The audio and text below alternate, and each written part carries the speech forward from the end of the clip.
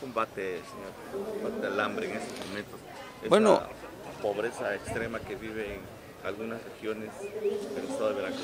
Bueno, hay acciones muy importantes y avances muy importantes en materia de política social en Veracruz. La propia Coneval dio resultados alentadores donde hay un 22.6% que se ha batido estos rezagos y esta marginación de la población, donde de la mano el gobierno federal, el gobierno del estado con los propios municipios se están focalizando acciones, donde los programas de la Cruzada contra el Hambre en los 33 municipios, en los polígonos que contempla, hay avances importantes, lo ha dicho el presidente de la República, la propia secretaria de Desarrollo Social, la maestra Rosario Robles y el gobernador del estado, que la mejor política social es la del desarrollo económico, del empleo y tenemos nosotros que atender en este sentido todas las carencias básicas de la población en materia de vivienda, de servicios públicos, de acceso a la alimentación, a la salud, a la educación y bueno, los mejores...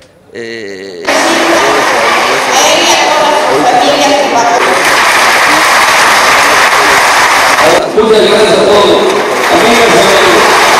Había mucha gente que había dado su vida trabajando. Reciben este apoyo. 1.600 de ley todos los días y le pidió al señor gobernador que estamos a expresar por comunicación del presidente municipal, estamos muy de cerca para que son, que se cuiden mucho, que hay que cuidar la salud del porque ustedes han dado su vida, es nuestro reconocimiento, nuestro agradecimiento. Él manifestó que iba a hacer reformas importantes para seguro para el de la familia. ¿Saben?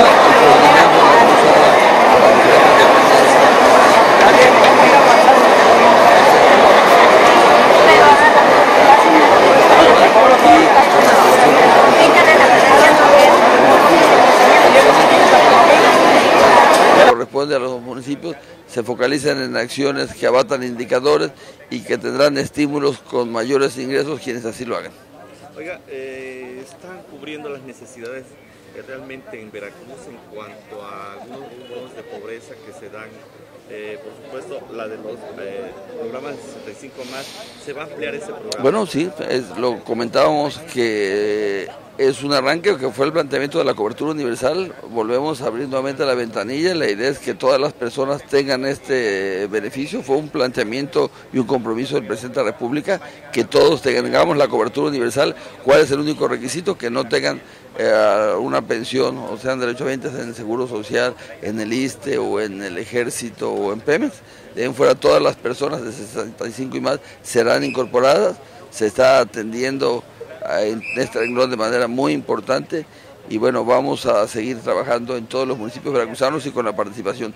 Pero lo más importante es que todos sean partícipes en este desarrollo de la nueva política social del presidente Enrique Peña Nieto, que sean actores importantes, que todo el mundo haga un esfuerzo personal para trabajar en todos los programas y acciones como en oportunidades, en Liconza, en Liconza, en los programas eh, Pal sin hambre, en los diferentes programas de desarrollo de zonas prioritarias, se trata de sumar esfuerzos y sumar voluntades para que en esta gran cruzada eh, contra el hambre abatamos todo este rezago y marginación, que rompamos el ciclo intergeneracional de la pobreza y de la marginación, logrando una mayor participación de la gente. La idea de mover a México es que todos tenemos que participar.